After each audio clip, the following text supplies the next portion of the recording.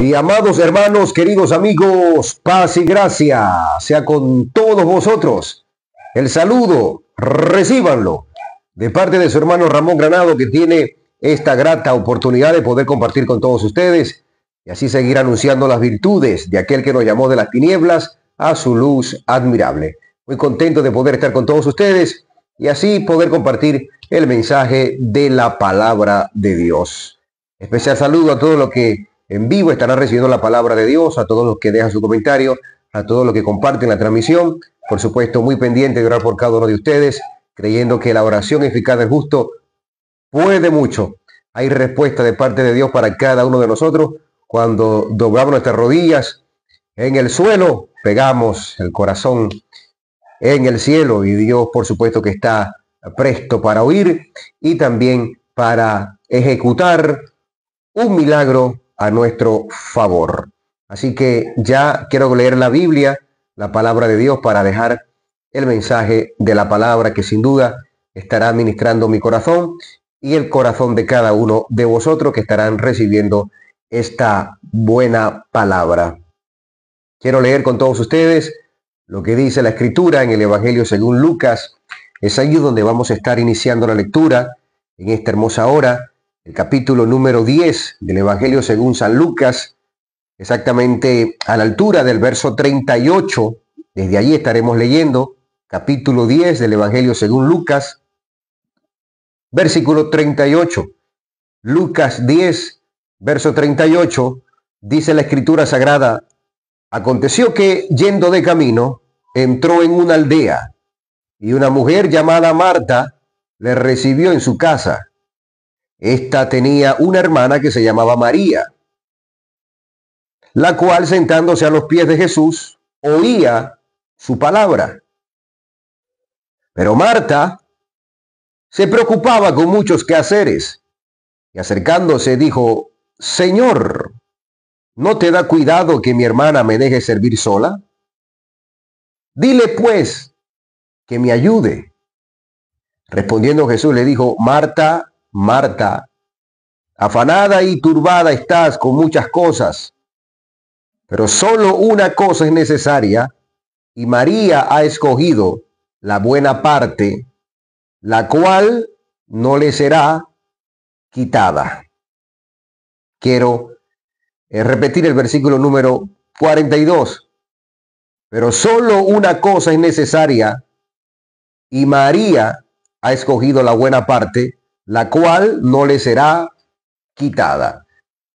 Hasta allí para dar inicio al consejo de Dios a la luz de su palabra. Y que el precioso Espíritu Santo añada grandes bendiciones por medio de la palabra de Dios y que llegue a lo profundo de cada uno de nuestros corazones. En el nombre de Jesús y por supuesto deseamos de corazón la paz para Israel, la paz para Jerusalén, en el nombre poderoso de Jesucristo, nuestro gran Salvador. Que así sea, por los siglos de los siglos. Y amados hermanos, queridos amigos, quisiera de una manera bastante breve poder eh, examinar esta porción bíblica. Quisiera meditar en esta historia real donde nos muestra la amistad profunda que tenía Jesús con esta familia, con estos tres hermanos, María, Marta y Lázaro. Aquí lo que acabamos de leer dice que Jesús llega y visita a esta familia. Entró en esta aldea a el hogar de Marta, María y Lázaro. Estos tres hermanos amaban a Jesús, seguían a Jesús. Ahora, la Biblia no menciona a otro pariente de ellos, no menciona ni al papá ni a la mamá de estos tres hermanos, solo menciona a Marta, María y Lázaro. Posiblemente esta familia habían atravesado situaciones bastante difíciles. Eh, no lo dice la escritura, pero de manera implícita yo puedo decirle que posiblemente tanto el papá como la mamá de estos tres hermanos habían fallecido, porque en realidad la Biblia no lo menciona, y ni en, la, en vida de Lázaro, ni en el momento cuando Lázaro está enfermo, y tampoco cuando Lázaro muere, sino que solamente lo menciona a estos tres, Marta, María y Lázaro. Entonces parece que esta familia como que había atravesado momentos dolorosos, había sufrido mucho y que estaban ellos tres y según la Biblia podemos nosotros eh, llegar a la conclusión de que eran muy unidos, tres hermanos muy unidos. Los tres le servían a Jesús. Lázaro era el hombre de la casa. Y ahí estaban ahora bendecidos porque había llegado Jesús a sus vidas. Había llegado Jesús a esta familia. Y cuando Jesús llega a una familia, allí hay bendición.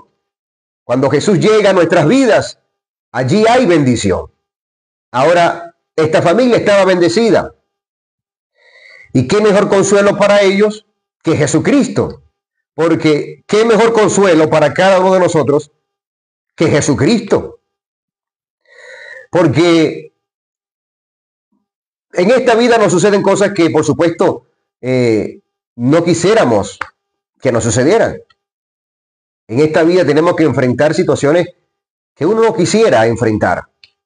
Por ejemplo, eh, nuestros padres, quisiéramos que nuestra madre, quisiéramos que nuestro padre fueran eternos y nuestros hermanos y todos nuestros seres queridos porque nadie quiere que muera físicamente un ser querido, a pesar de que tenga a Cristo y que uno entiende por la palabra de Dios, por ser pueblo espiritual, nosotros entendemos que morir no es pérdida, sino ganancia, porque consideramos las palabras de Pablo cuando dijo, porque para mí el vivir es Cristo, el vivir es Cristo y el morir es ganancia.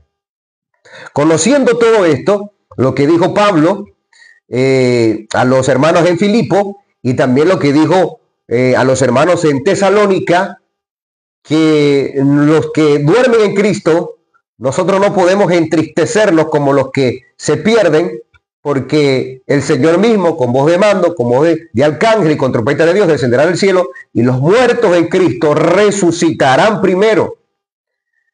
A pesar que nosotros conocemos toda esta verdad divina, sin embargo, nosotros no dejamos de tener un corazón de carne que tiene sentimiento.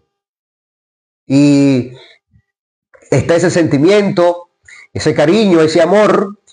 Imagínense el amor de madre, el amor de padre. Y yo por, por lo menos le doy gracias a Dios que tengo a mi padre y a mi madre con vida pero por momento pienso, Dios mío, ¿cómo será cuando ya yo no los tenga? Porque debe ser un dolor muy terrible. Entonces parece que Marta, María y Lázaro habían pasado por eso. Pero, vuelvo a decir, llegó Cristo para consolar sus vidas. Porque cualquiera que sea el dolor y por muy grande que pueda ser, solo Jesús es el que nos puede entender. A veces nosotros nos encontramos en una situación de tristeza, eh, de dolor, y cualquiera nos mira y dice, pero ¿por qué estás así? ¿Por qué estás así? No es motivo, eso pasa, o qué sé yo. Mire, y cualquier palabra que nos puedan decir las personas, pero no, no hay consuelo, porque en realidad ninguna persona entiende a otra persona. Porque el único que conoce nuestros corazones es el Señor Jesucristo. Porque esa situación que te ocurrió, yo como ser humano la puedo ver como algo sencillo, algo eh, insignificante. Pero tal vez eso que para mí es insignificante, para ti es algo muy, muy valioso y te está doliendo mucho. Entonces yo creo que tú no deberías, es lo que yo creo, como, imperfecto que soy, como ser humano, eh, yo creo que no debería de sentirse así, yo creo que ya, ya debería dejar pasar. pero es que yo no estoy sintiendo lo que siente tu corazón. Solo Jesús conoce el dolor de tu corazón. Solo Jesús conoce la situación, cómo te duele lo que estás atravesando. De manera que solo Él puede consolarnos, solo Él puede ayudarnos y solo Él puede levantarnos ante la tristeza y ante el dolor. Vuelvo a decir, yo no quisiera que mi madre muriera, yo no quisiera que mi padre muriera, pero yo entiendo que está establecido para los hombres que mueran una sola vez. Yo estoy claro que en algún momento van a morir. Estoy claro que en algún momento puede morir algún hermano, alguna persona que yo quiero, que yo amo. Y le pido a Dios que me ayude. Porque así es la vida, así está establecido. Así está establecido. Uno no quisiera, pero así está establecido. Entonces, estos tres hermanos se consolaban entre ellos teniendo el principal consuelo de Jesucristo, servían a Dios. Y más resalto a María, que parece que María era la que más estaba apegada a Jesús. Recuerde que Dios no hace sesión de persona. Dios no me ama más a mí que a usted, de ninguna manera. Así como Dios me ama a mí, también te ama a ti. La diferencia no es de Dios a nosotros. La diferencia es de nosotros a Dios. ¿Están comprendiendo? Lo voy a repetir. La diferencia no es de Dios a nosotros. La diferencia es de nosotros a Dios. Porque Dios, como te ama a ti, me ama a mí. El asunto es que la diferencia de, nosotros a Dios es que tal vez tú lo ames a Él más que yo. O tal vez yo lo ame a Él más que tú. ¿Hay alguien con vida por ahí? Lo vuelvo a repetir. La diferencia no es de Dios a nosotros, la diferencia es de nosotros a Dios. Porque Dios como me ama a mí, te ama a ti. El asunto es que posiblemente tú amas más a Dios que yo. O yo amo más a Dios que tú. ¿Y cómo se demuestra eso? Por nuestros hechos por guardar la palabra de Dios. Jesús lo dijo, el que me ama, guarde mi palabra. Tener una, una relación más profunda con Dios. Y María era una de esas. Parece que la relación de María con Jesús era más profunda que la de Marta. No era que Jesús amaba más a María que a Marta, no. Parece que era María la que amaba más a Jesús que Marta. Ahora llega Jesús a visitarlo porque eran amigos y los amigos se visitan. Llega Jesús a visitarlos, pero estaban en los quehaceres. Pero cuando llega Jesús, María, dice la Biblia, dejó de hacer todo para darle prioridad a Jesús. Y eso es lo importante.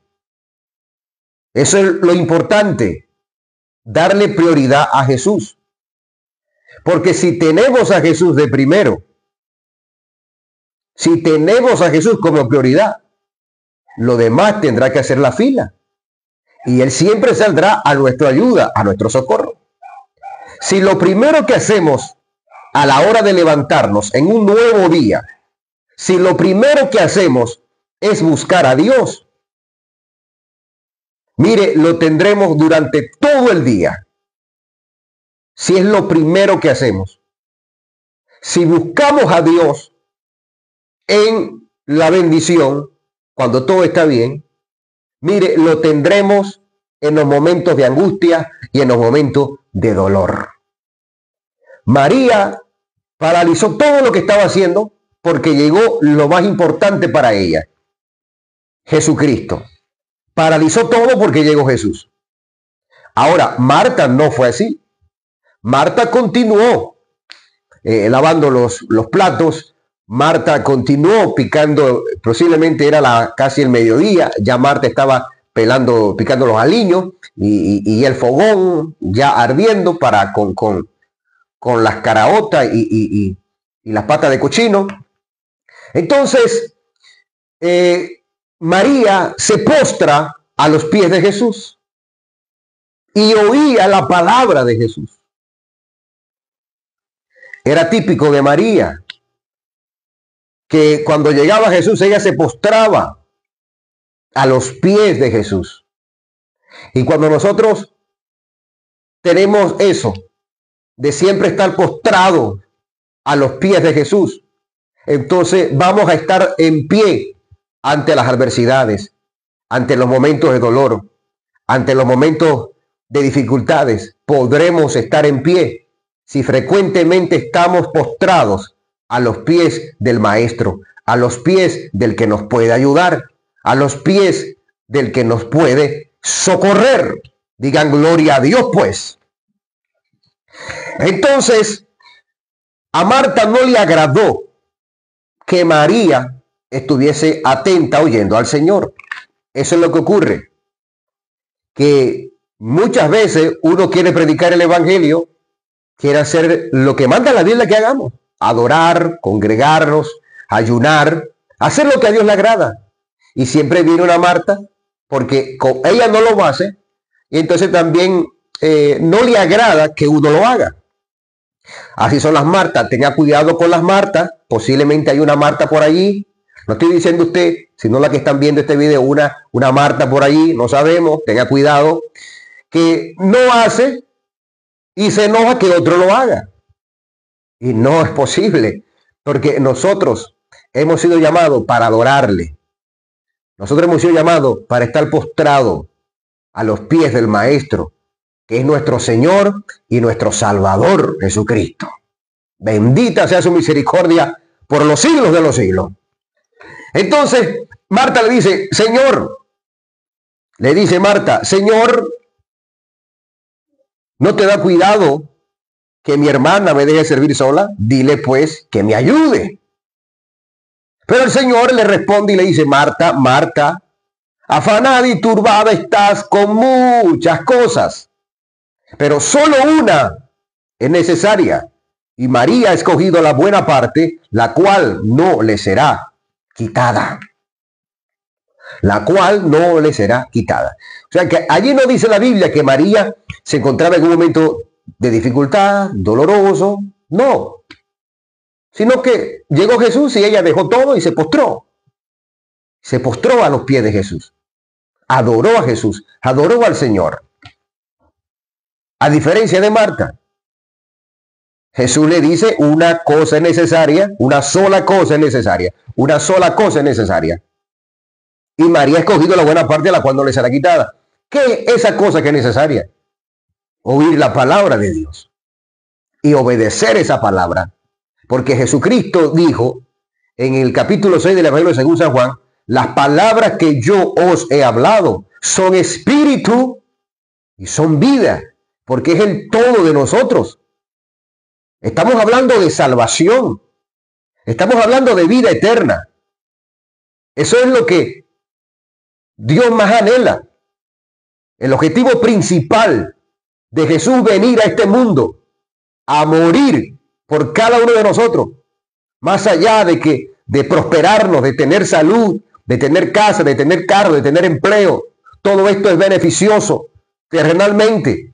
Pero ¿de qué vale todo esto si nuestra alma se pierde? Jesús mismo lo dijo, ¿de qué le vale el hombre ganar el mundo y perder su alma? Lo más extraordinario es que nuestra vida esté asegurada con Jesús, que nuestro nombre esté inscrito en el libro de la vida. Porque el problema no es que muramos, el problema es que después de la muerte física tengamos que enfrentarnos a una condenación eterna y ser lanzado a un lugar tan apestoso y tan tenebroso como lo es el infierno, donde el gusano no muere y la llama nunca se apaga. Por eso Pablo le dijo a los hermanos en Filipo, ocupaos en vuestra salvación con temor y temblor. ¿Será que usted se está ocupando en su salvación? ¿Será que nos estamos ocupando en nuestra salvación? porque Marta se estaba ocupando en las caraotas con pate cochino y que los corotos estaban sucios. Pero cuando llega Jesús, María dejó todo. María paralizó todo y se ocupó en la salvación. Se ocupó en la palabra, en la verdad. Se ocupó en la vida eterna. Queridos, todo lo que tengamos que dejar, dejémoslo. Todo lo que tengamos que paralizar, paralicémoslo. Contar de obtener la salvación y la vida eterna. Esto es tan importante que Jesús dijo, si tu ojo te es ocasión de caer, sácalo y échalo de ti. Si tu mano te es ocasión de caer, córtala y échala de ti. No es que físicamente nosotros vamos a, a, cortar la mano, a sacarnos los ojos, porque entonces estaríamos contradiciendo la palabra de Dios. Porque Jesús dijo que el que, el que destruye el templo, Dios lo va a destruir a él. Nosotros no, yo no puedo dañar mi cuerpo, yo no puedo dañar mi ojo, yo no puedo dañar mis manos porque es mi cuerpo. Y si yo daño mi cuerpo, si destruyo mi cuerpo, Dios me destruye a mí. Entonces, ¿por qué Jesús dijo que si mi ojo es ocasión de caer, me lo saque? Y si mi mano me es ocasión de caer, que me la corte. Allí Jesús se refería espiritualmente. Porque imagínense si apenas a nosotros nos cae alguna basura, en el ojo, eso nos incomoda inmediatamente queremos ya sacar lo que alguien nos revise, que alguien nos saque lo que nos cayó, porque es incómodo, es muy malo tener algo en los ojos, una basura, algo, es muy incómodo. Imagínense el dolor, lo eh, el dolor que significa sacarse un ojo.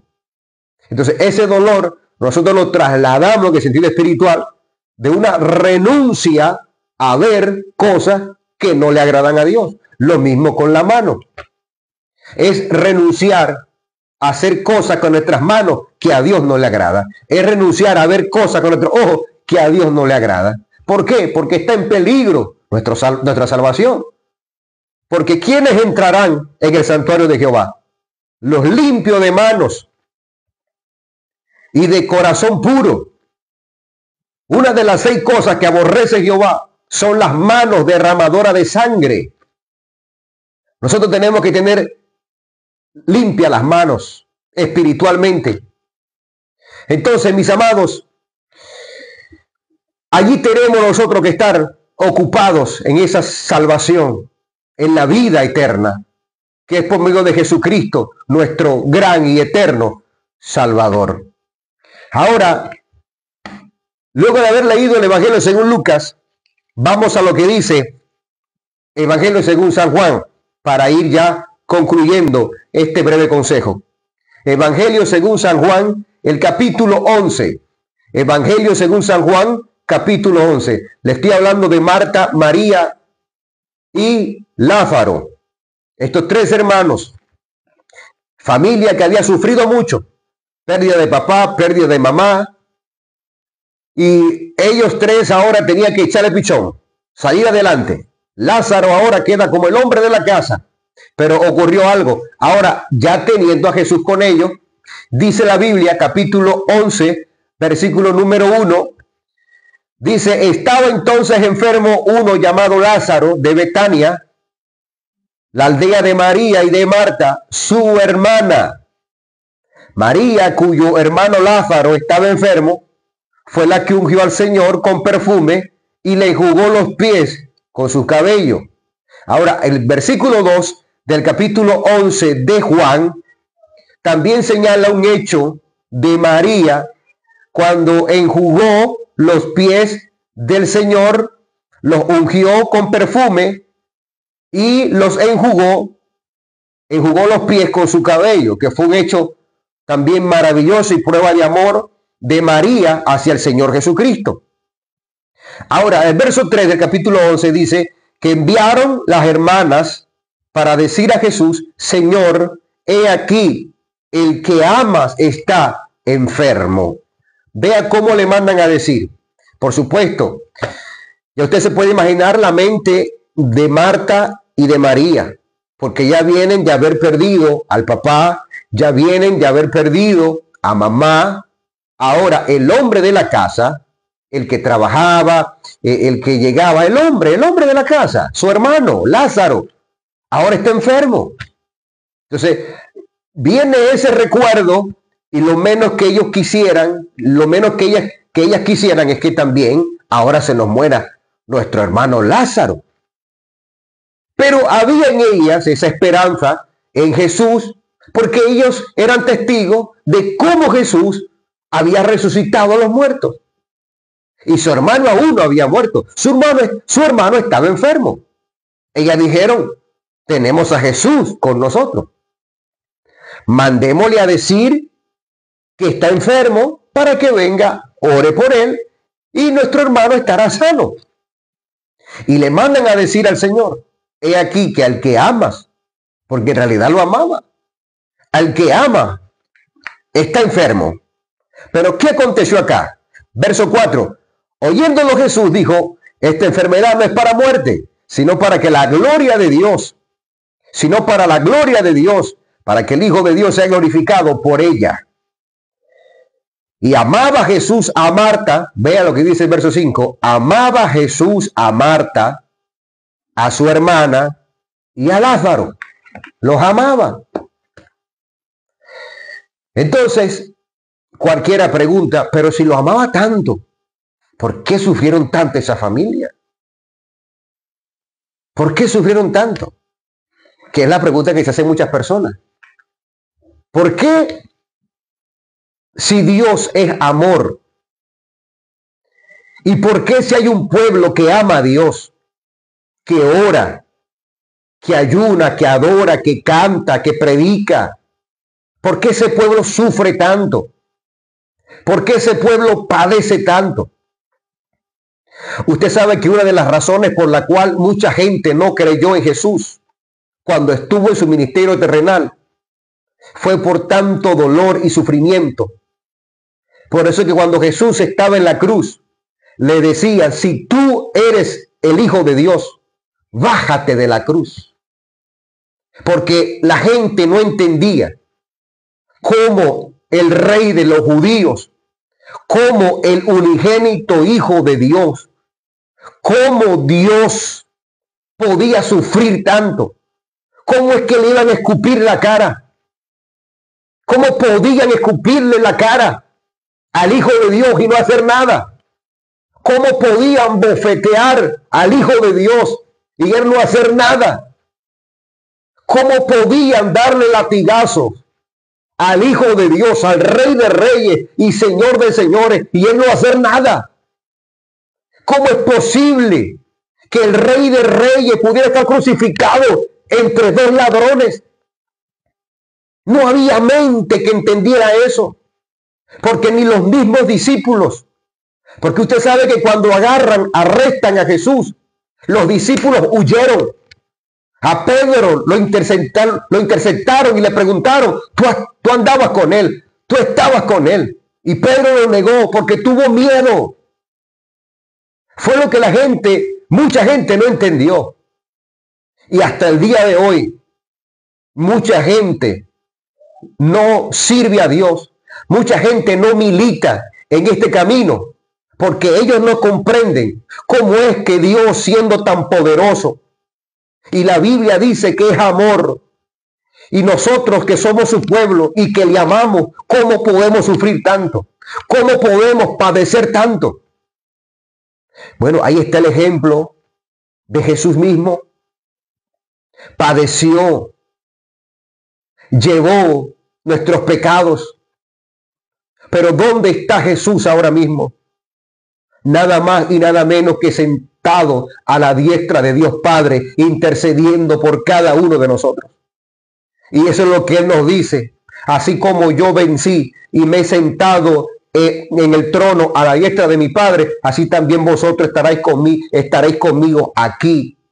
Si vencemos, si perseveramos hasta el final. Porque este mundo, como dice la Biblia, que el mundo entero está bajo el maligno. Y por supuesto que el objetivo del enemigo es que nosotros renunciemos a nuestra fe, abandonemos nuestra fe. Y por eso tenemos tanta presión, tantos ataques satánicos, para que neguemos al Señor. Pero como se lo dijo Jesús a Marta, solo una cosa es necesario. Y María ha escogido la buena parte Lo necesario aquí es que nosotros lleguemos al cielo. Lo necesario es alcanzar la salvación. Solo una cosa, solo una cosa. Por eso Salomón en el Eclesiastés dijo, el todo del hombre, el todo del hombre, teme a Dios y apártate del mal, porque allí encontraremos la salvación y allí encontraremos la vida eterna. Santiago, estamos en Juan, pero quiero leer lo que dice Santiago. Digan gloria a Dios si quieren, lo que están asistiendo el video. Recuerde compartirlo, dejar su comentario. Estaré orando por todos ustedes. Estaré orando por Cayo Silva. Claro que sí, Cayo Silva. Está acá en Brasil. Estaremos orando por él. Dice Santiago, el capítulo 5. Santiago capítulo 5. Dice Santiago capítulo 5, versículo 10 dice, hermanos míos, tomad como ejemplo de aflicción y de paciencia a los profetas que hablaron en el nombre del Señor. He aquí tenemos por bienaventurado, escuche esto, he aquí tenemos por bienaventurado, no es, aquí no dice miserable, porque usted sabe que personas que en la vida han llevado mucho sufrimiento, que en la vida han llevado mucho dolor, mucha gente los señala y los cataloga como personas miserables. Así catalogaban a Pablo, a Jeremías, a Isaías. ¿Saben lo que decían de Pablo cuando llegó a una ciudad? Dice, dice la Biblia que la gente dijeron, ahora llegó esa plaga también aquí. Así le decían a Pablo, que era una plaga. Imagínese usted, así llamaban a Pablo, como una plaga, como que hubiese tenido una vida miserable. ¿Por qué? Porque cuando Pablo no estaba preso, lo andaban buscando. Así era la vida de Pablo. Cuando no estaba preso, lo andaban buscando. Entonces, la escritura sagrada tiene todos estos ejemplos de hombres y mujeres de Dios que sufrieron, que padecieron, como ejemplo para cada uno de nosotros. Pero ¿qué dice Santiago? ¿Qué dice Santiago? Dice, toma como ejemplo de aflicción y de paciencia a los profetas que hablaron en nombre del Señor. He aquí tenemos por bienaventurados a los que sufren. Habéis oído de la paciencia de Job y habéis visto el fin del Señor, que el Señor es muy, es muy, es muy misericordioso y compasivo. Y entonces, es lo que la gente, mucha gente pregunta, si es muy, porque eh, Santiago añade la palabra muy, muy, muy, muy misericordioso y compasivo. ¿Por qué? ¿Por qué? Su iglesia, su pueblo padece, sufre. Querido, ¿sabe lo que yo oí el día de hoy? Que me espantaba cuando oí esas palabras hay un, caballero eh, viral, él, en una transmisión, y dejó el, el video ya grabado allí, con miles y miles de reproducciones, él le envía un mensaje al pueblo venezolano. Este hombre le envía un mensaje al pueblo venezolano. ¿Y sabe qué, cuál es el mensaje que le envía? Este mensaje que tiene miles y miles de reproducciones. Y él dice en el mensaje a todos los venezolanos, por favor, si tienen Biblia, quémenla. Si tienen Biblia, quémenla. Porque todo lo que está pasando en Venezuela es por culpa de Dios. Así dice el hombre. Le echa la culpa a Dios por lo que está pasando en Venezuela. Y es el consejo que él le da al pueblo venezolano. Pero que el Señor Jesucristo reprenda al diablo. Porque eso es una mentira. ¿Por qué es tan peligroso este asunto de dolor, de sufrimiento? ¿Qué es lo que estamos hablando?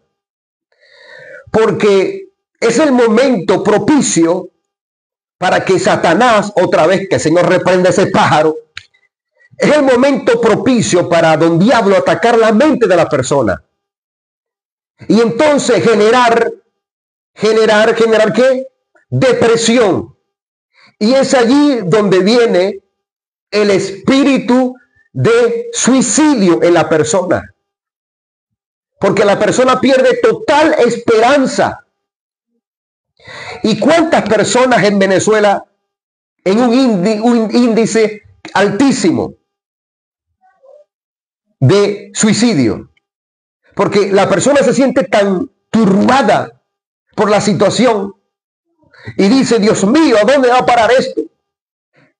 Personas que tenían muchos bienes materiales, pero con toda la inflación, con toda la situación que se ha presentado, no solamente en Venezuela, sino en el mundo entero, muchas personas se han quitado la vida. Porque esa es la mentira de Satanás. Otra vez, que el Señor reprenda ese pájaro.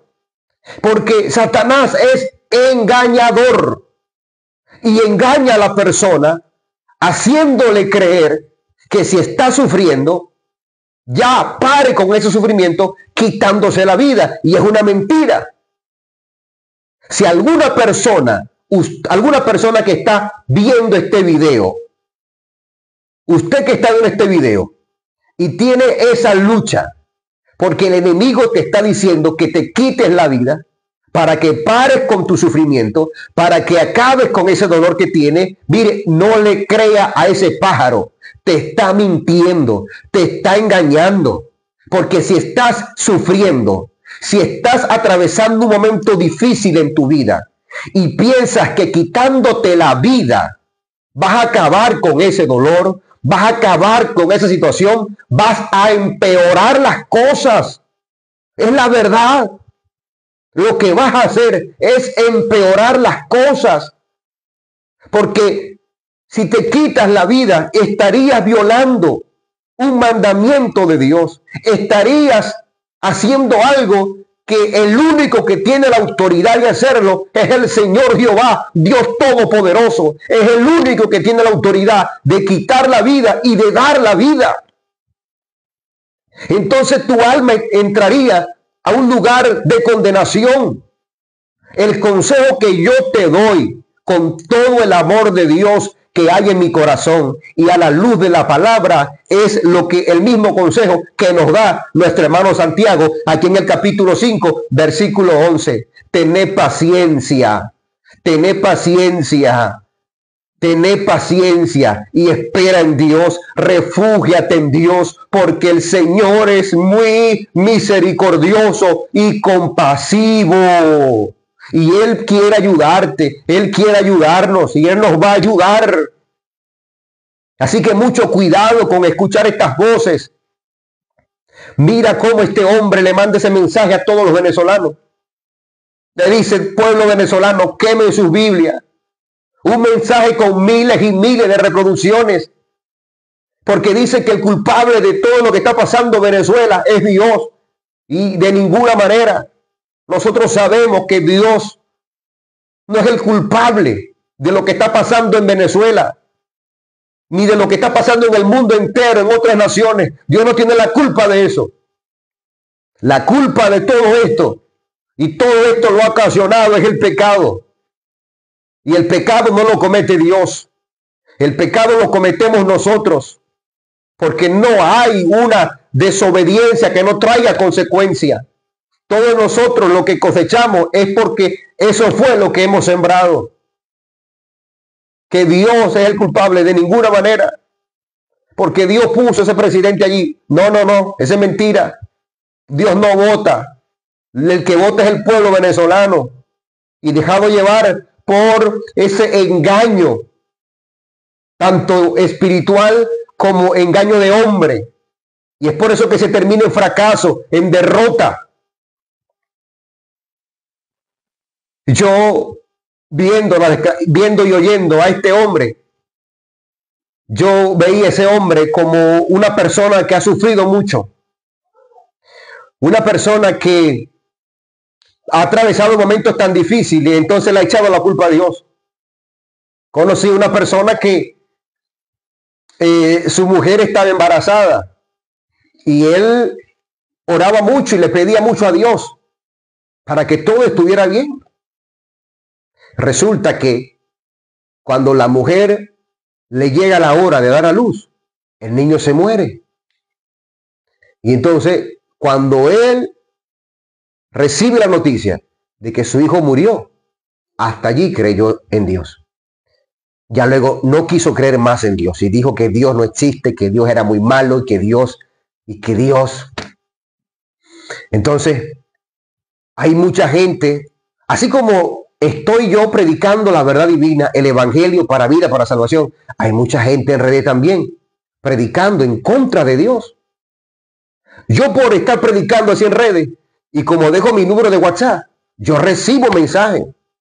Precisamente hoy me enviaron uno que cómo era posible que yo podía hablar tan bonito de un Dios tan malo, porque mandó a matar a los primogénitos en Egipto, porque eh, mandó a Saúl a matar a, los niños de allá de Amalek, ¿recuerdan? Y que Jehová es malo porque Jehová mandaba a matar y que Jehová, que cómo yo puedo ¿Cómo yo puedo servirle a ese Dios? ¿Y cómo yo puedo hablar tan lindo de ese Dios siendo ese Dios tan malo?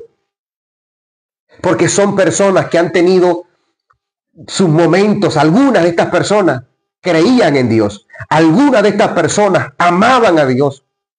Pero se encontraron en su vida algún momento muy difícil, muy doloroso. Y entonces ahora ellos se hacen ateos y creen que Dios fue injusto con lo que permitió que le aconteciera en sus vidas. Pero Dios no es injusto. Dios es justo. Dios es bueno. Dios es santo. Y a los que aman a Dios todas las cosas nos ayudan a bien. Cualquiera hubiera pensado que Pablo era injusto lo que le pasaba a Pablo. ¿Cómo puede un apóstol Pablo estar preso? Si ese hombre lo había dejado todo. Si ese hombre todo tenía por basura. Ese hombre pasaba frío, hambre, viajaba de un lado a otro, predicando el Evangelio, hablando de un Cristo de poder, de milagro. ¿Cómo puede ese hombre estar preso? ¿Cómo pueden apedrearlo? ¿Por qué Dios no evitó que lo, que lo apedreara? ¿Por qué Dios no evitó que lo sacaran? Porque aquí tenemos por bienaventurado a los que sufren. Porque cualquiera, y mucha gente no entiende por qué un cristiano está enfermo. ¿Por qué un cristiano eh, fue víctima de, un robo? ¿Por qué un cristiano fue víctima de tantas cosas? Nosotros físicamente, humanamente, terrenalmente, somos igual que cualquier ser humano podemos enfermarnos, nos pueden robar, eh, tenemos accidentes, cualquier cosa. El asunto es lo que dijo Jesús, lo que le dijo Jesús a María. Solo una cosa es necesaria y es allí donde nosotros estamos enfocados en nuestra salvación, en la vida eterna. Digan gloria a Dios, por favor, hermanos. Queridos, que cualquiera que sea la situación que uno pueda pasar, que uno pueda atravesar, no perdamos nuestra fe. El Señor le dijo a Pedro, Pedro, Satanás me ha pedido para zarandearos como a trigo, pero yo he rogado por ti para que tu fe no te falte, que Dios nos ayude a todos. Porque eso es lo que tú le estás pidiendo a Dios.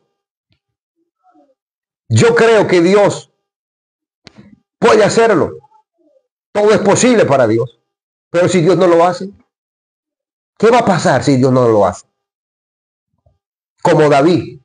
A David se le enfermó el hijo. Y oraba ayunaba para que Dios lo sanara. Y Dios no lo sanó. Dios se lo quiso llevar. Y la Biblia no dice que David se descarrió. Y la Biblia no dice que David se hizo ateo. No. David se levantó, se bañó, se perfumó y fue y adoró a Jehová. Esa es la fe ese es el amor. Por eso nosotros siempre tenemos que estar como María postrados a los pies de Jesús, para que el Señor nos ayude y sigamos adelante. No le echemos la culpa a Dios. Tenga cuidado, tenga cuidado, tengamos cuidado. Dios no es malo, Dios es bueno. Así que mucha atención amigos, ustedes que no son cristianos, Ustedes que nunca le han entregado su vida a Cristo. Porque hay muchas personas que tenían la esperanza, hablando y refiriéndome al pueblo venezolano. Yo sé todo el dolor, todo el sufrimiento que hemos tenido. Digo hemos tenido porque también soy venezolano. Y hay mucha gente que tenía la esperanza en unas elecciones. Tenía la esperanza. Muchos venezolanos en diferentes países del mundo tenían esa esperanza de, de volver a su país. Muchos de los que están en Venezuela tenían la esperanza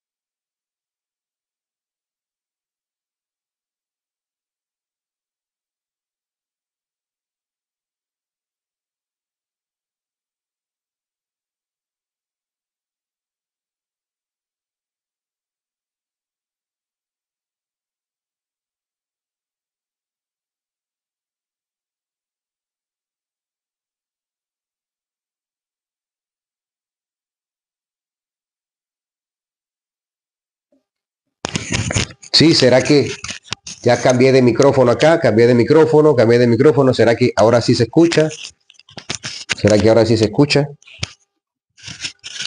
No sé si los hermanos. ¿Será que ahora sí se escucha? Ahora sí, ahora sí, ahora sí, ahora sí. Déjenme acá que estoy cambiando de micrófono.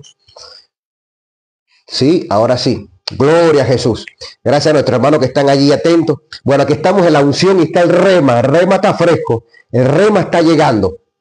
Alabado sea el nombre de Jesucristo, nuestro gran Salvador. Amados hermanos, entonces es la pregunta de mucha gente. ¿Dónde está Dios? ¿Dónde está Dios? ¿Será que Dios no está viendo lo que está pasando? Porque, no sé, bueno, lo voy a repetir esta parte porque no sé en qué parte me quedé sin audio. No sé en qué parte me quedé sin audio, pero hay personas que tenían la esperanza en este sistema de hombre. Tenían esa esperanza de que, bueno, después del 28 de, julio eh, posiblemente hay un cambio, eh, me regreso, los que están fuera pensaban en regresar y los que están dentro tenían ese gozo de que sus familiares iban a ser recibidos y que podía haber una mejor eh, economía en Venezuela, porque hay mucha gente en Venezuela que no quiere dejar Venezuela, que no quiere emigrar, que no quiere irse a otro país, pero no hayan que hacer la situación en qué invierto, qué hago, dónde trabajo, qué invierto, qué hago, Dios mío, ayúdame. La esperanza la tenían en esa fecha por ese sistema humano, pero resulta que el resultado fue negativo a favor del pueblo, en contra del pueblo, para perjudicar más. Y el que tenía a ese ánimo, el que tenía esa fe, parece que la fe se le derrumbó. Parece que esa esperanza como que cayó. Y querido pueblo de Venezuela, mire, el hombre puede hacer lo que sea. El hombre puede decir lo que sea. Pero la esperanza en Cristo tiene que permanecer. La esperanza en Jesús tiene que permanecer. Porque Dios es el que hace. Dios es el que hace. Y Dios a él le, a él le place. A él le place siempre glorificarse en lo más, en lo más difícil.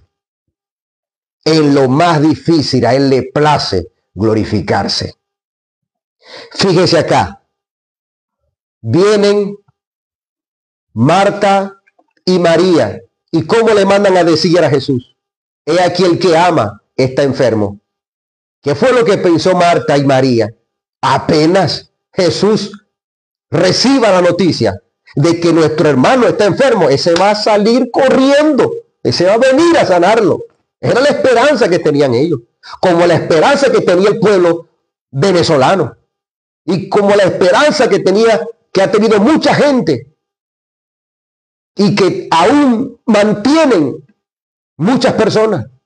Marta y María tranquila Marta, me imagino ellas dos, tranquila Marta, tranquila María, en lo que Jesús eh, sepa que Lázaro, nuestro hermano, está enfermo, ese va a venir rapidito y ya todo, y ya va, va, va a mejorar. Me imagino que le daban ánimo a Lázaro, tranquilo, mi hermano, tranquilo, tranquilo que esto va a cambiar, tranquilo que ya no vas a tener esa fiebre, tranquilo, mi hermano, que tranquilo que ese dolor ya no va a estar, aguanta, aguanta, que lo que Jesús sepa que tú estás enfermo, ya le mandamos a avisar. En lo que lleguen y le avisen, ese va a venir y todo va a cambiar. Ya el dolor no va a haber dolor, ya no va a haber fiebre, ya no va a haber agonía, ya podrás comer y todo va a estar bien. Era la esperanza que tenían ellas. Pero ¿qué pasó? Cuando vienen y le dicen a Jesús, he aquí el que ama está enfermo. Versículo 6 del capítulo 11 dice, cuando oyó pues que estaba enfermo, se quedó dos días más en el lugar donde estaba. Usted se puede imaginar la cara que puso el que le llevó el mensaje a Jesús. Cuando le dijo, mira que el que ama está enfermo, y entonces Jesús lo que hace es quedarse dos días.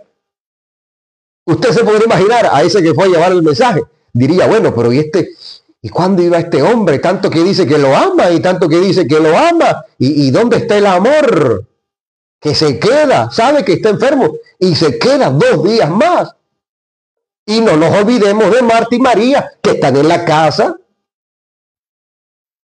Imagínese que esa persona que le dio el mensaje a Jesús se regresó y le dijo, no, ya yo le dije ella a Jesús que Lázaro estaba enfermo. Y ella, bueno, pero ¿y por qué demora tanto? Usted se imagina la lucha, la lucha que tuvo Marta y María aquí, en la mente, porque este es el campo de batalla. Aquí es donde uno pelea todo el día. Desde que uno se levanta, uno tiene una pelea aquí en, esta, e, e, en este casco. Una pelea llegan pensamientos de todo tipo. Y cuando uno se encuentra en un momento de dolor, estamos atravesando alguna dificultad, es aquí donde llegan muchos pensamientos y uno tiene que pelear con esos pensamientos. Usted se puede imaginar los pensamientos negativos que llegaban a la mente de María y de Marta. Imagínese a María, los pensamientos que llegaban a María. María, tú que dejabas todo. Él no podía llegar a tu casa porque tú dejabas de lavar, tú dejabas de cocinar, tú dejabas de hacer todo por servirle a Él. Ahora tú necesitas de Él, tu hermano está enfermo, Él y que, y que los ama a ustedes. ¿Y por qué no ha venido? Y Lázaro agonizando. Se murió Lázaro. Se murió Lázaro. Se murió Lázaro era para que María, si María hubiera caído en el mismo error que cayó este caballero y que oro por él, y que oro por él, para que Dios lo ayude, porque está vivo y tiene oportunidad, que Dios trate con él y se arrepienta. Oramos y oremos por ese hombre y por muchos que piensan así de esa manera. María, siendo otra, dice, dice ya, yo no creo más en él. Tantas cosas que yo he hecho, Perdí mi tiempo. Perdí mi tiempo guardándome para Dios. Para eso hubiese rumbiado, hubiese sido mundana, hubiese mujeriado, eh, hubiese rumbiado, hubiese tomado. Yo que dejaba todo por Él y ahora que necesito de Él, ¿dónde está Jesucristo? Era la, la, la, la lucha, la lucha, porque no es fácil. y Uno no puede evitar los malos pensamientos. O usted puede evitar los malos pensamientos. No me diga que puede evitarlo, porque entonces es mentiroso. No podemos evitar los malos pensamientos. Pero lo que sí podemos evitar es darle cabida y alimentar ese mal pensamiento. Pablo dice a los hermanos en Corintios, segunda de Corintios, capítulo 10, versículo 4, que tenemos armas las armas de nuestra milicia no son carnales, sino poderosas en Dios para destrucción de fortaleza, derribando todo argumento y llevando cautivo todo pensamiento a la obediencia a Cristo. Por eso es muy importante nosotros leer esto, leer Biblia. Es importante conocer la Biblia, porque cuando llegan esos malos pensamientos, nosotros los vamos a llevar cautivo a la obediencia. O sea que lo vamos a, le vamos a hacer la guerra. Lo vamos, nos vamos a oponer a ese mal pensamiento por la Biblia, porque nos va a llegar la palabra y con ese pensamiento en nuestra mente es que vamos a apagar esos dardos por la fe. Y la fe viene por el oír y el oír por la palabra de Dios. Y en la armadura del cristiano, ¿qué representa la fe? ¿Quién sabe eso? ¿Quién puede responder? ¿Quién puede responder? ¿Quién puede responder esa pregunta? ¿Quién puede responder esa pregunta? De las partes de la armadura de cristiano, ¿qué es la fe? ¿Qué es la fe? En partes de nuestra armadura, ¿qué es la fe? ¿Qué es la fe? ¿Qué es la fe? ¿Qué es la fe? ¿Qué es la fe? ¿Qué es la fe? En la parte de la armadura, ¿quién sabe? ¿Quién sabe? ¿Quién sabe? ¿Quién sabe? ¿Quién sabe? Le estoy preguntando, responda pues. En la parte de la armadura, ¿qué es la fe? ¿Qué es la fe? ¿Quién sabe allí? ¿Quién responde? Ahí está, la hermana Miladi. El escudo correctamente, bien contestado. El escudo de la fe. El escudo de la armadura que nosotros debemos tener porque estamos en una guerra. Y si usted no tiene la armadura, lo van a hacer un colador y va a ser un difunto en esta guerra. Tenemos que estar con la armadura. ¿Y por qué Pablo dice que el escudo es la fe? ¿Para qué? Para que podáis apagar los dardos del maligno. ¿Dónde van a venir los dardos? Principalmente a mi mente, a mi cabeza. Y entonces con el escudo, antes de dar mí, dan en el escudo, el escudo de la fe, de la fe, de la fe, el escudo de la fe, de la fe. Y la fe viene por qué? Por el oír. ¿Por el oír qué? la palabra de Dios. Que mientras yo como Biblia, no le como cuento al diablo. Que si yo como Biblia, no le como cuento al diablo. Que cuando venga el diablo con su dardo, tus hijos se van a perder. Yo lo apago con el escudo de la fe, con la palabra que dice que yo y mi casa le serviremos a Jehová. Y ese dardo del diablo cae a tierra. En el nombre de Jesucristo.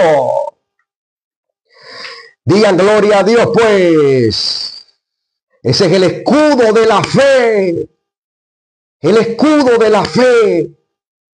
Que vienen esos pensamientos y yo lo voy a apagar por la fe, por la palabra, por la palabra.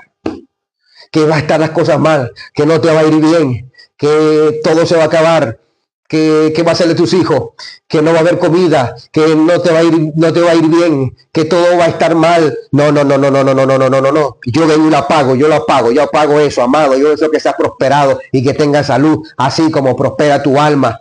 Yo le creo a Dios que va a haber una guerra civil en Venezuela, que muchos muertos, que el terremoto y que vas a morirte en el terremoto y que te vas a enfermar y si te vas a enfermar te vas a morir, que no hay medicina, que no, no, no, no, no, no, no, no. Yo le creo a Dios, yo, yo agarro ese dardo y lo apago con el escudo de la fe. Momento, momento, momento y le pongo el escudo de la fe ¿Con qué escudo de la fe? ¿Con qué palabra pongo el escudo de la fe? Con el Salmo 91, el que habita el abrigo del Altísimo morará bajo la sombra del Omnipotente. Diré yo a Jehová esperanza, mi castillo mío, mi Dios en quien confiaré. Él te librará del lazo del cazador y de la peste destructora. Con sus plumas te cubriré bajo de su ala. Estará seguro. Escudo y alargue su verdad. No temerás al terror nocturno, ni saeta que vuela de día, ni pestilencia que no ocurrirá, ni mortandad que a medio del día destruya. Caray a tu lado mir y Dios mío a tu diestra más a ti no llegará. Ciertamente con tus ojos mirarás y verás a recompensa de los impíos, porque has puesto a Jehová que mi esperanza al altísimo por tu habitación, no te sobrevendrá mal, ni plaga tocará tu morada. Esa es la palabra del Señor. Glorificado sea su nombre. Entonces, entonces, dije que iba a ser breve, pero es que ustedes no me dejan terminar. Ya, ya vamos terminando. Se quedó Jesús. Lázaro agonizando. No dice la Biblia que tenía fiebre, pero imaginémonos que estaba temblando la fiebre y ya comenzó Lázaro a convulsionar. Me imagino que a María se le iban a Marta, se le iban a salir los ojos por esa ventana y no viene, y no viene, y no viene. Y ya él sabe, ya él sabe que está enfermo. Ya le dijeron que está enfermo. Y si ya él sabe que mi hermano está enfermo, ¿por qué es que no llega? ¿Por qué si él sabe, si él sabe, si él sabe que está enfermo? ¿Por qué aún no llega?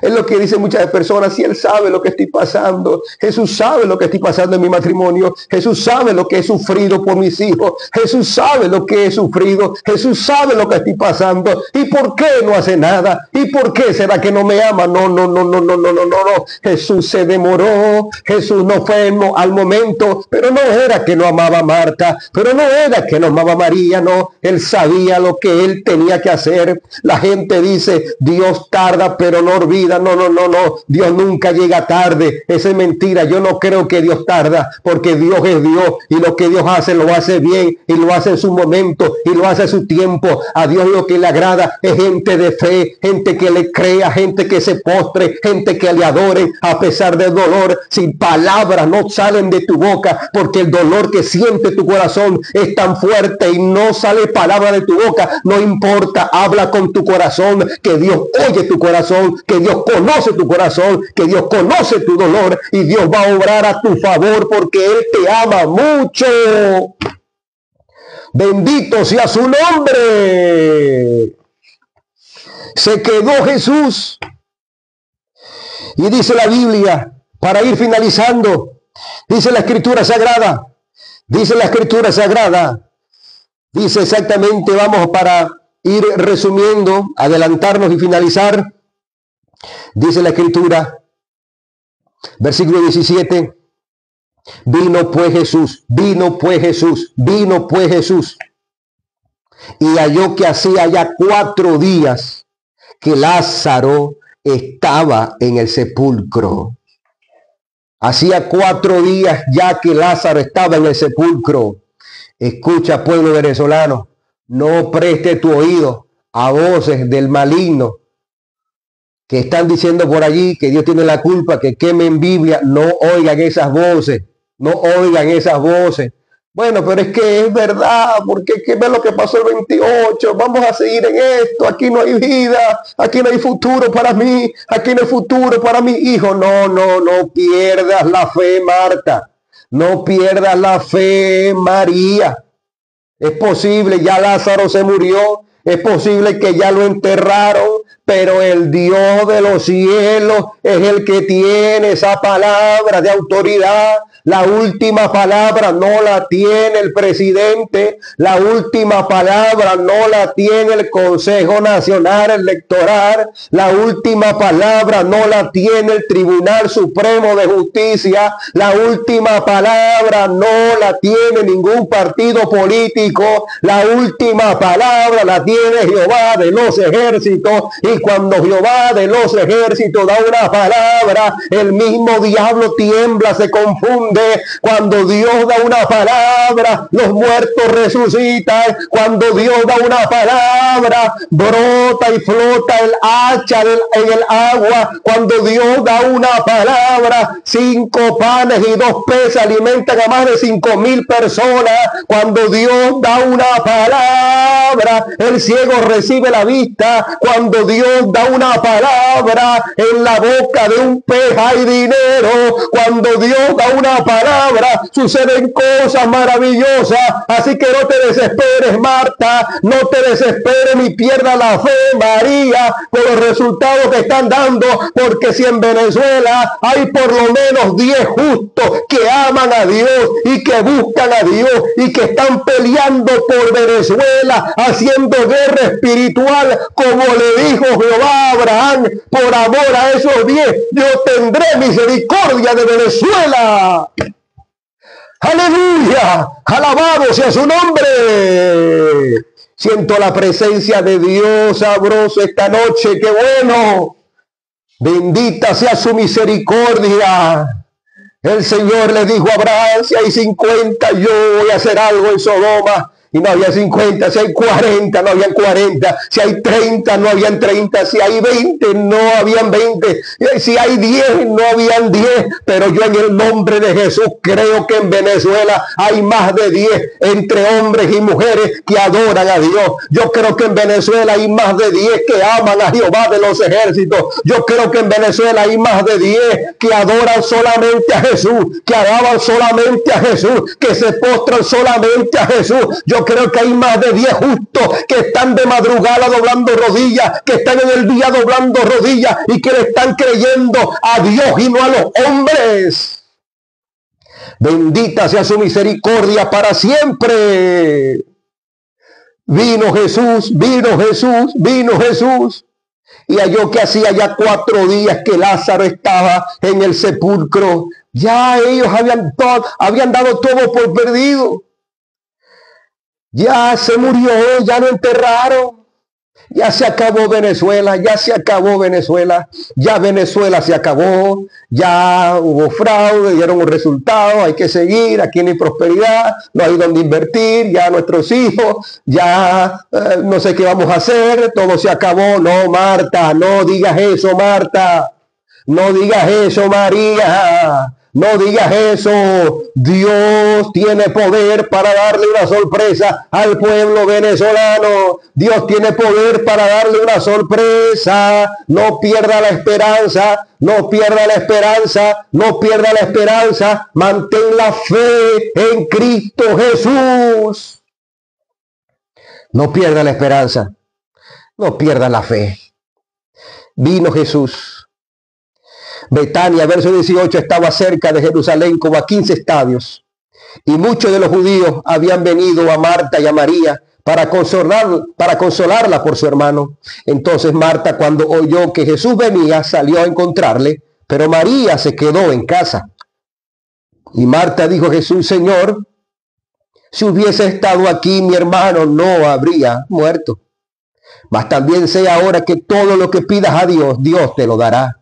Jesús le dijo, tu hermano resucitará. Tu hermano resucitará. Tu hermano resucitará. Vea lo que pensaba Marta. Señor, si hubiesen estado aquí, mi hermano no habría muerto. Porque, ¿qué es lo que estaba pensando Marta? ¿Qué creen ustedes que estaba pensando Marta? ¿Saben lo que estaba pensando Marta? Ya no se puede hacer nada. Ya no se puede hacer nada. Porque si por lo menos hubieses llegado cuando estaba enfermo, lo hubiese sanado y, ya. Pero ya no se puede hacer nada porque ya se murió. Así mucha gente pensando que Venezuela se murió, que ya no hay nada que hacer, que Venezuela ahora va a tener una migración mayor, una miseria mayor, que Venezuela totalmente se la llevó el diablo. No, no, no, no, no, no, esa es mentira, esa es mentira. Esa es mentira. No, pero entonces si por lo menos el 28 hubiese ganado fulano, y hubiésemos salido. No, no, no, no, no, no, no, no. Porque Dios no necesita de un sistema humano para hacer un milagro. Dios no necesita de eso. Dios hace maravillas para que cuando Él haga lo que va a hacer, toda la honra y toda la gloria se la va a llevar Dios. Porque cuando el enemigo está más confiado, pensando que lo logró, ahí es cuando Dios se glorifica para avergonzarlo. Ay, papá, qué bueno eso. Porque cuando, cuando Jesús en la cruz murió, hubo celebración.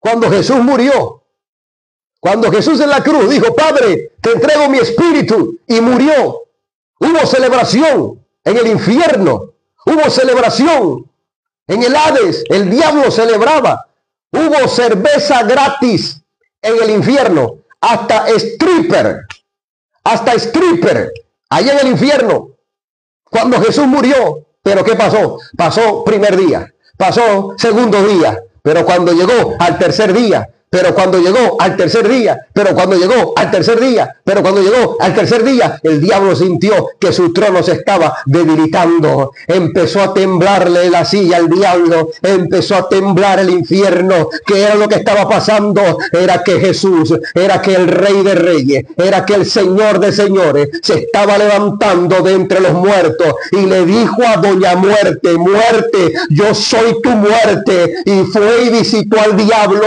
y le dijo, diablo, dame la llave del Hades. Y le quitó la llave al diablo. Alabado sea su nombre.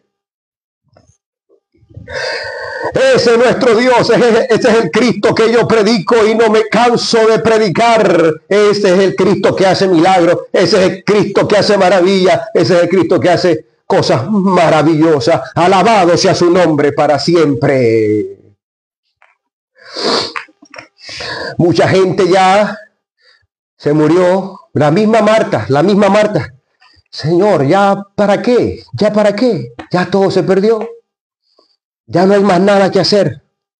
Dijo Marta. Y al Señor le dijo, tu hermano resucitará. Tu hermano resucitará. Marta le dijo, yo sé que resucitará en la resurrección, en el día postrero. Jesús le dijo, yo soy la resurrección y la vida. El que cree en mí, aunque esté muerto, vivirá. Todo aquel que vive y cree en mí no morirá eternamente. ¿Crees esto? Yo le pregunto a ustedes, ¿creen esto? Porque aquí se trata de creer.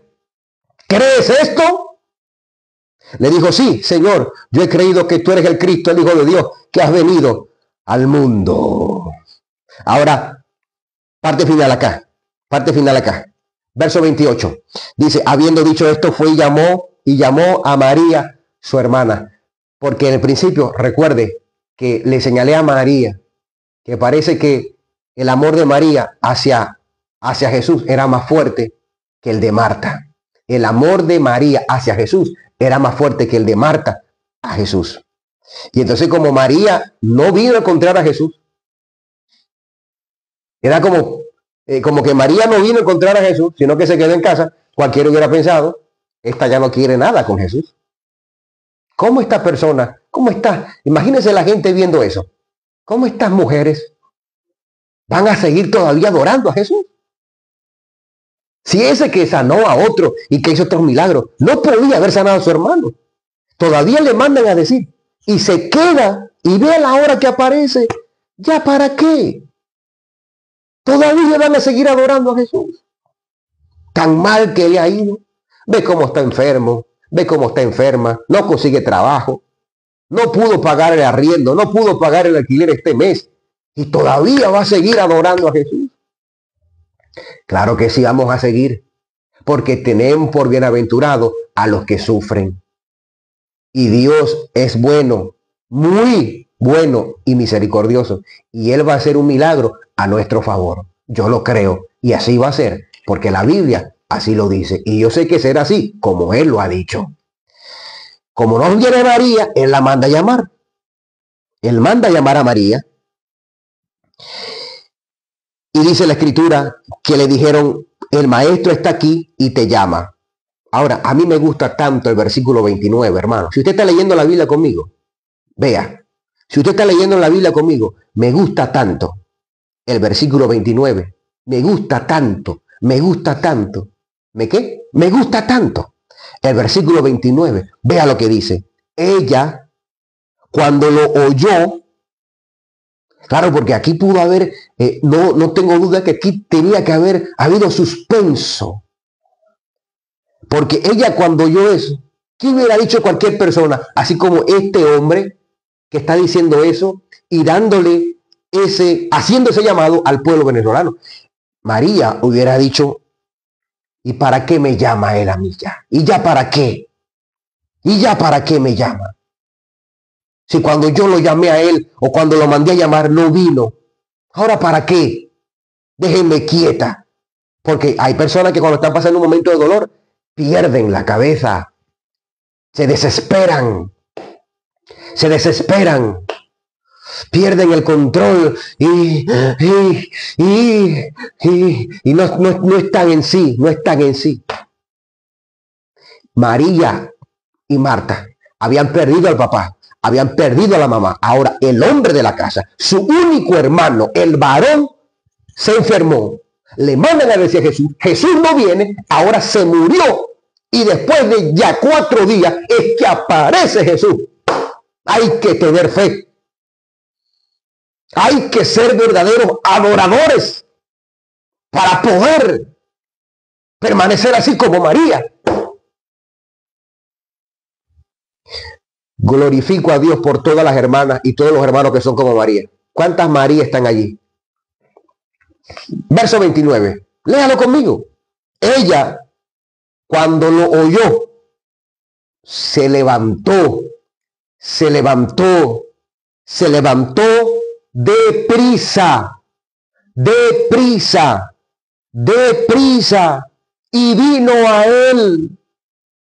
O sea que la prueba y el dolor grande que había en el corazón de María no la hizo titubear de su fe en Jesús. Ella no entendía por qué él se había demorado.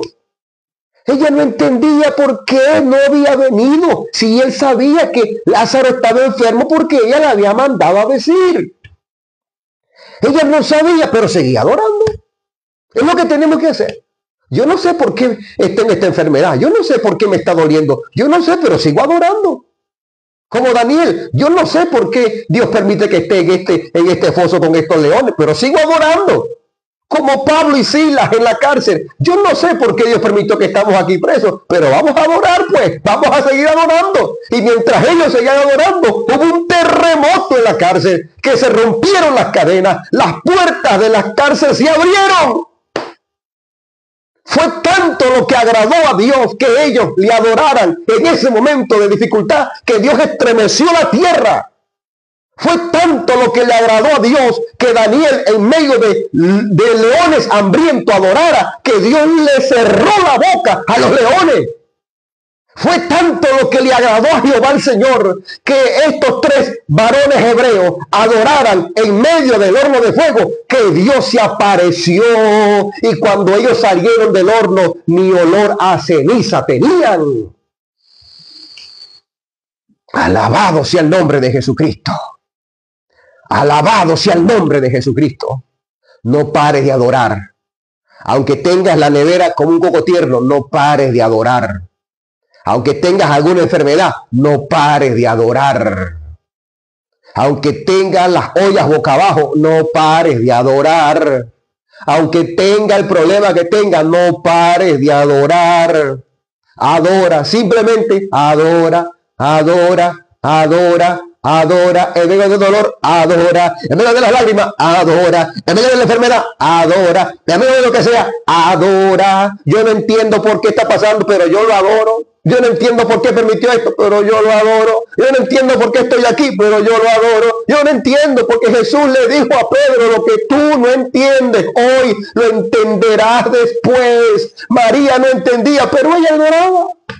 Ella no entendía, pero adoraba. Ella no entendía, pero adoraba.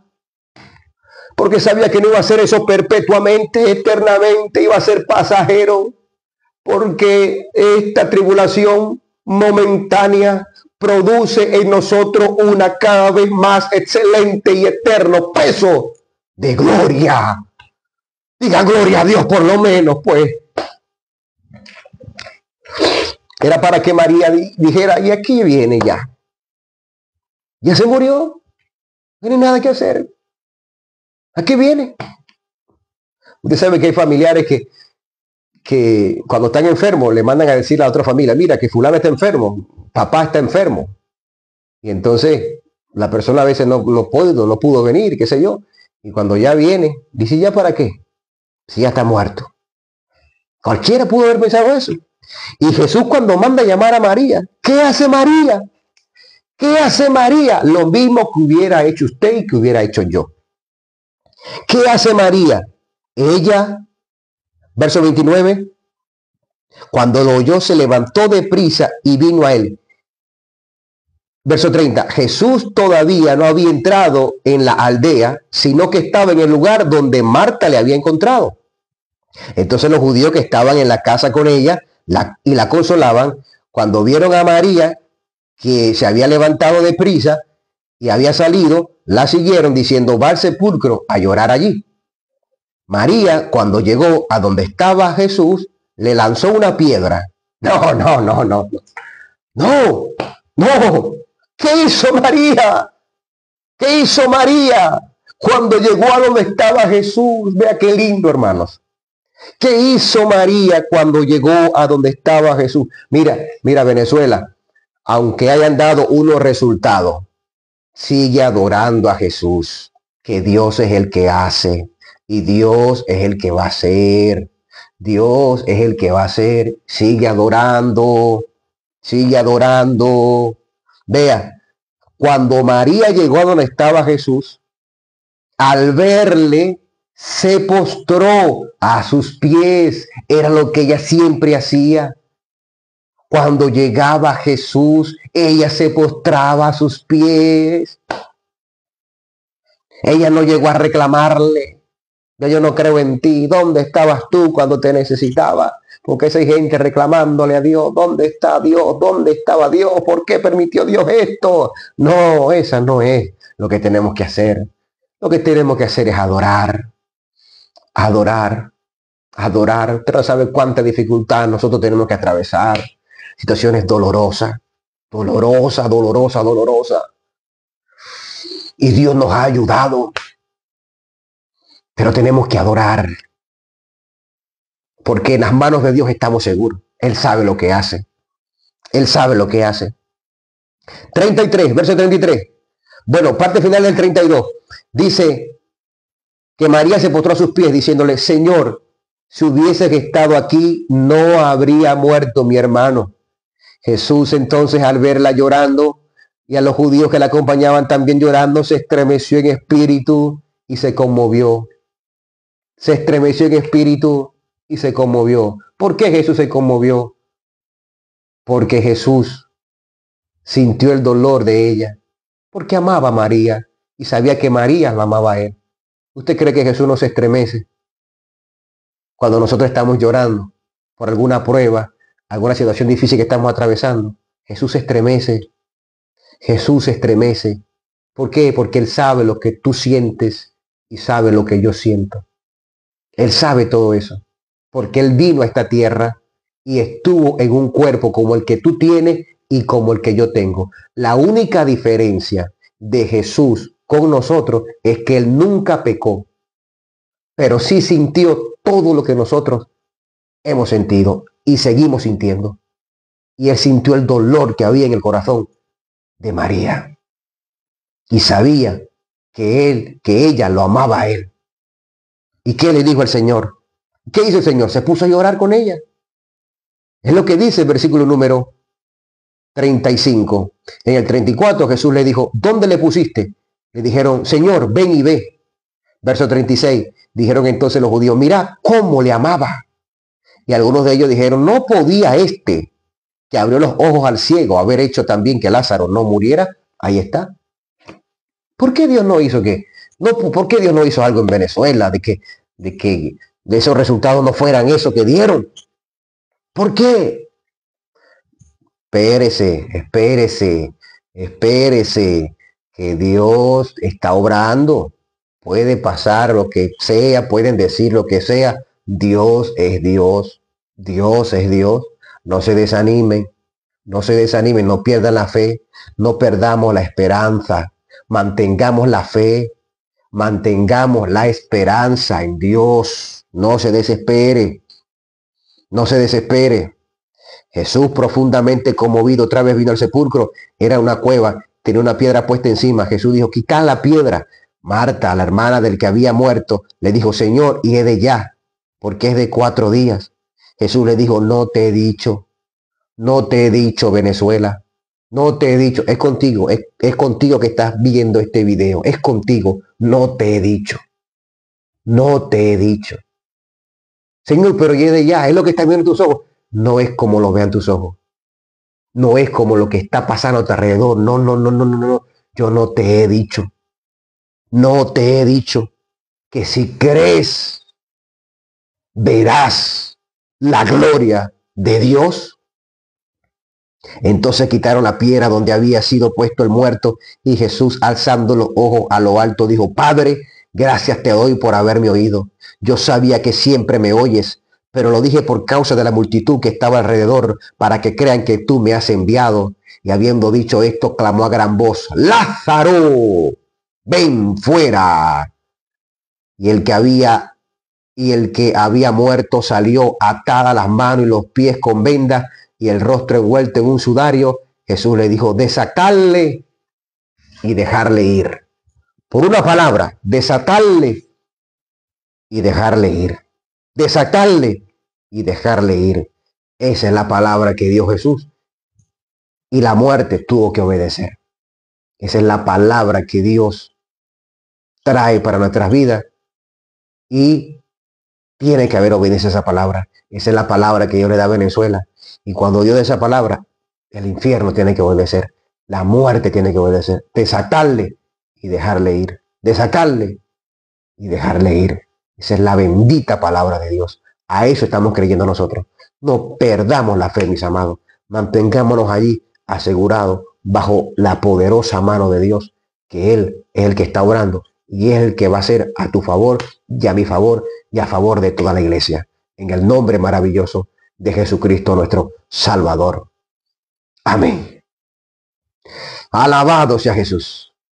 Bien, espero que esta palabra haya sido de gran bendición para su vida, para mi vida y para todos los que la escucharon.